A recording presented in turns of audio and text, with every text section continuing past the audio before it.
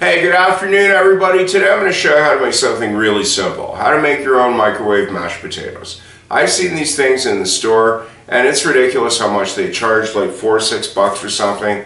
Um, and they're basically charging you because you don't know how to do it.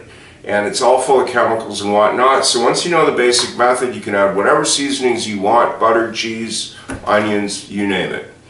And you don't need a lot of tools for this either. Um, I've got a large potato, cutting board, knife, a peeler, a fork, and a microwave safe bowl and plate. First thing is just peel your potato. Once that's peeled, just cut it into pieces.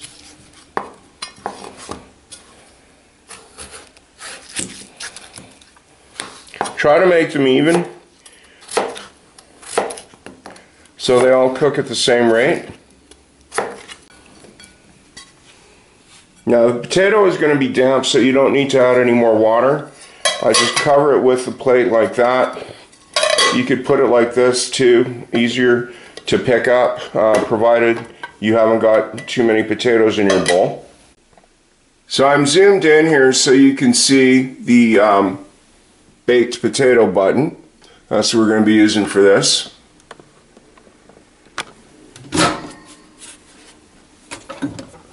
So just put the bowl in there. What I do is I usually hit it for two of them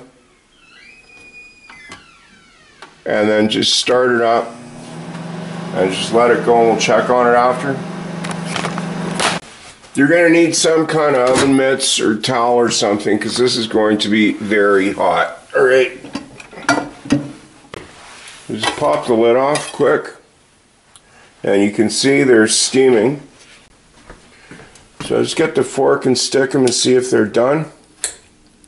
They're a little underdone. I mean, they're mashable, but you're going to have um, lumps in your potatoes after, which I don't like.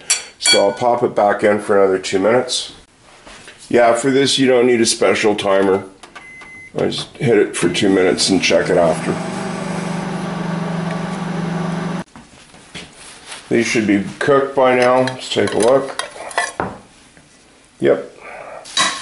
Now, somebody's going to ask me, what's the exact time? I cannot say that because I don't know how much potatoes you're putting in. I don't know what the power of your microwave is. All right, so you'll just have to play around. What I do like about this is it works and it works all the time. And if you've got a potato masher, go ahead and put it in there. The reason I'm doing it like this is just to show you that you can just do this with a fork. It's that easy. So once you know how to do this, you're not stuck waiting on the deli case, hoping they've got some of the flavor you want. That's why I'm not going anywhere near seasonings on this. You can put in whatever you want. Butter, salt, melt some cheese in it, fried onions, whatever you want. So that's how you make microwave mashed potatoes. Thanks for watching, and I do hope to see you again.